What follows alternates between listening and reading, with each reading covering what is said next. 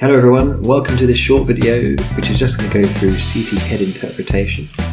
It's aimed at the level of, of an F1 or an F2, a non-specialist in radiology, just looking at some of the key principles behind interpreting a CT head, uh, looking at some key pathology to look out for when you're assessing patients and looking at their imaging. The key is to keep it simple.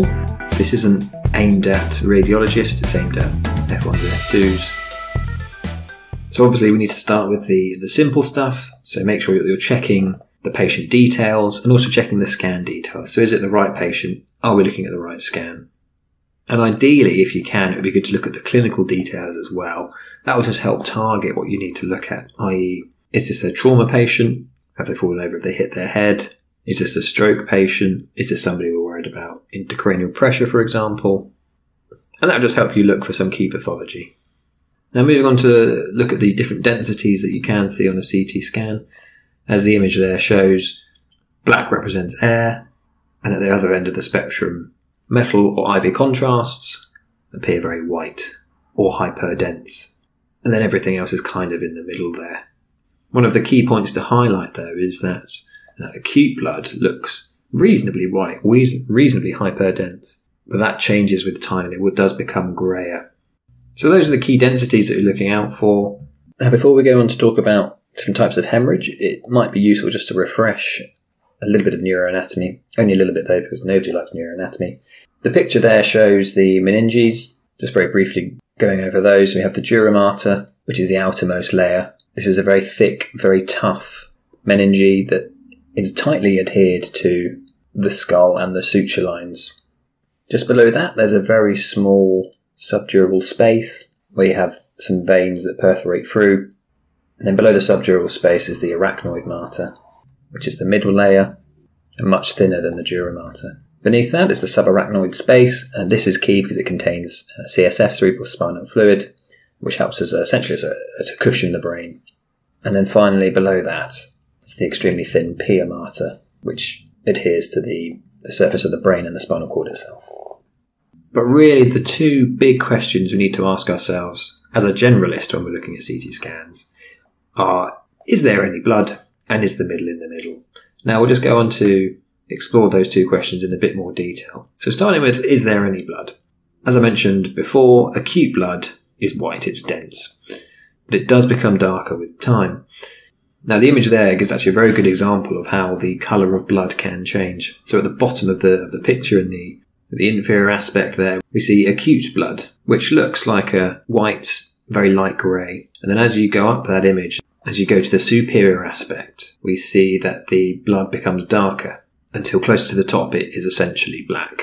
So now we're just going to look at some examples of pathology. The first example is of an extradural hematoma. Extradural meaning between the dura mater and the skull itself. Now, these are normally arterial bleeds, often related to a temporal bone fracture where you can rupture the uh, middle meningeal artery. Now, radiologically, this gives you this biconvex shape, sometimes referred to as lentiform. And one of the key differentiators with an extradural hematoma is that it does not cross the suture lines, which is because of the anatomy of the dura that I previously explained. The next example is a subdural hematoma. Subdural referring to below the dura mater, but above the arachnoid mater in that very thin sub- uh, subdural space. Now, these are venous bleeds, uh, often related to sudden acceleration and deceleration injuries, what you might see in, in a road traffic collision, for example. The picture shows more of an acute subdural because the, the blood is much whiter. In clinical practice, we need to be suspicious of more of a, of a chronic subdural, which may present much more subtly with personality changes, gradual onset confusion, drowsiness, and we should be particularly worried about these in patients who are anticoagulated, which increases their venous bleeding risk, and those with atrophied brains because essentially there's more space for them to bleed into. Radiologically, subdurals appear as uh, more of a crescent shape, and because they're below the dura, these can cross the suture lines as opposed to the extradural. The next example is a subarachnoid hemorrhage. Now you see these in high mechanism injuries, giving blood in the subarachnoid space. One of the analogies I like to use, it looks a bit like a squashed frog, which you might be able to appreciate from the images shown.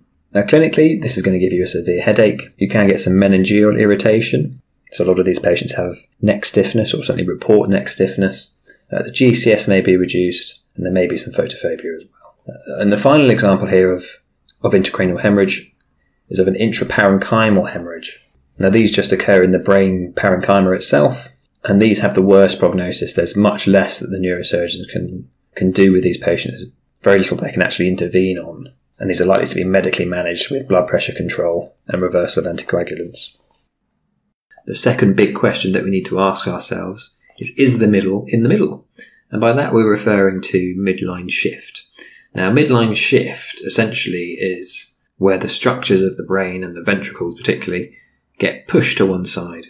And this pushing effect is from something raising the intracranial pressure. Now, essentially, by the time that you've got midline shift, this is actually a very poor prognostic indicator from a neurosurgical point of view and is suggestive of, uh, of a significantly raised intracranial pressure, which is why it's important to detect and important to look for.